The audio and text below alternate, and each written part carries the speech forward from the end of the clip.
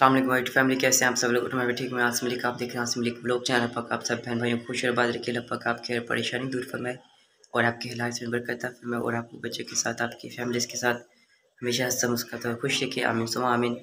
तो आज वैसे से एक नई प्यारी सुबह का आगाज़ हो चुका है तो सुबह के तकरीबन आठ बज रहे हैं। तो आज इंशाल्लाह जो भी डेली की रूटीन होगी, मैं आप सब बहन भाइयों से शेयर करूँगा। और सुबह सुबह के टाइम में ठंड जो है इतना ज़्यादा ठंड है, हद से ज़्यादा तो अभी चलते हैं, नीचे नाश्ता वगैरह करते हैं और उसके बाद इंशाल्लाह जो भी रूटीन होगी, जो भी व्लॉग होगा, इंशाल्लाह कंटिन्यू करेंगे। तो सबसे पहले नाश्ते कर लेते हैं। साथ ही वीडियो का ज़रूर देखिएगा। तो अभी जो ना क्वार्टर पर खड़े हैं तो बाहर का व्यू आप चेक कर सकते हैं। यहाँ से धूप वगैरह भी कड़क निकल आई है और आज जो ना बादल वगैरह भी नहीं है।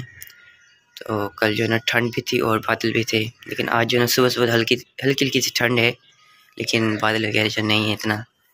बाहर का भी आप चेक कर सकते हैं, माशाल्लाह से। और ये सामने जो है मस्जिद है। बाहर से ऐसे, लेकिन अंदर से काफ़ी खूबसूरत है, माशाल्लाह।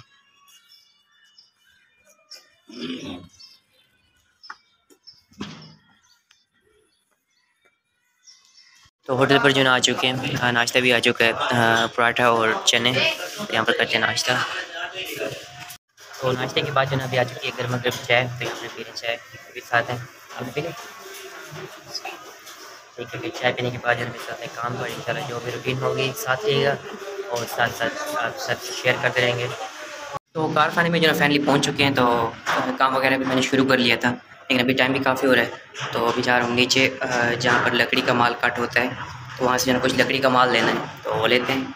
उसके बाद इंशाल्लाह जो भी रूटीन होगी आप सब बहन भाइयों से शेयर करता रहूँगा। तो अभी जो मैं जा रहा हूँ ऊपर तो कुछ माल जो है कट हो गया था, वो लेकर जा रहा हूँ। तो कुछ जो है अभी तक नहीं हुआ था तो हाँ भाई ने बोला कि थोड़ी देर बाद आगे ले जाना। तो अभी चलते हैं ऊपर काम शुरू करते हैं।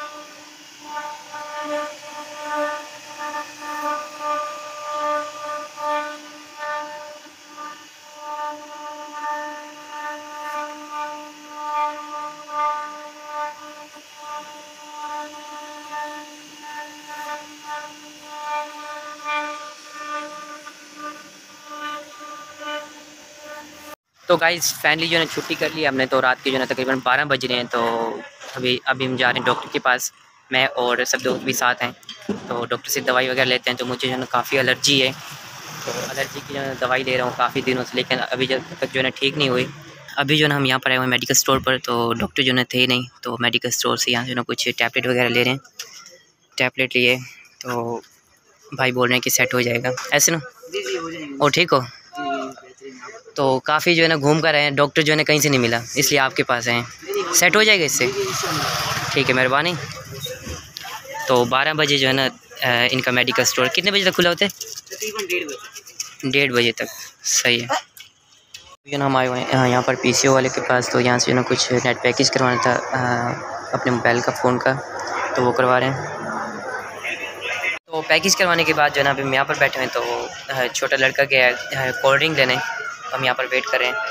और भैया राशिद भाई? ठीक हो?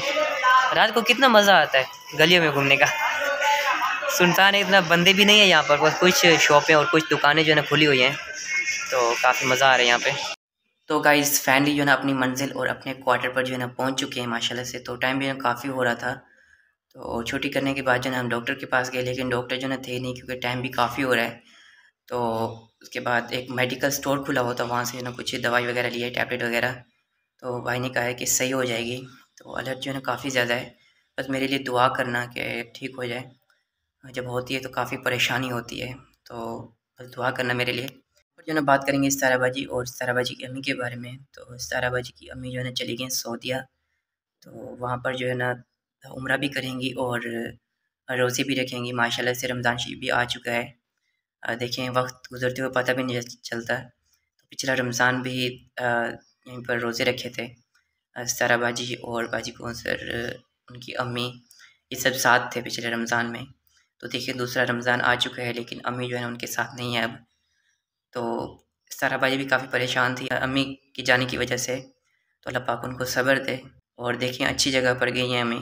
वहाँ पर जो है ना, रोज़े भी रखेंगी और उम्र भी करेंगी, इबादत करेंगी अल्लाह पाक की। और आप सब के लिए, हम सब के लिए दुआएँ भी करेंगी।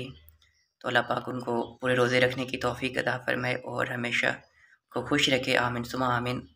तो ये कुछ बातें थी, आप सब बहन भाइयों से शेयर करनी थी। तो सितारा बाजी जो है काफ़ी ज़्यादा परेशान है अपनी अम्मी के जाने की वजह से। अल्लाह पाक उनको भी सब्र दे।